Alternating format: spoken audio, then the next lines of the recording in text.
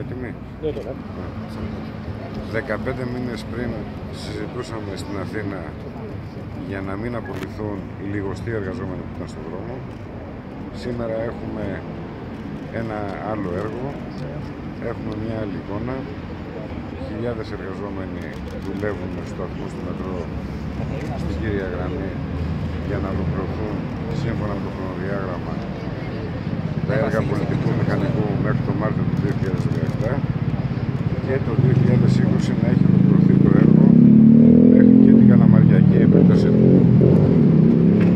Δεν είναι μόνο ε, το έργο για την πόλη, για τους πολίτες. Μια απλή επίσκεψη μπορεί να ε, δείξει το πλούτο της πολιτιστικής ε, κληρονομιάς που αποκαλύπτεται κάθε μέρα. Τώρα ε, δεν είναι κάτι σπάνιο, αλλά μπροστά στα μάτια μας βρήκαν αρκετά νομίσματα της Βυζαντινής περίοδου.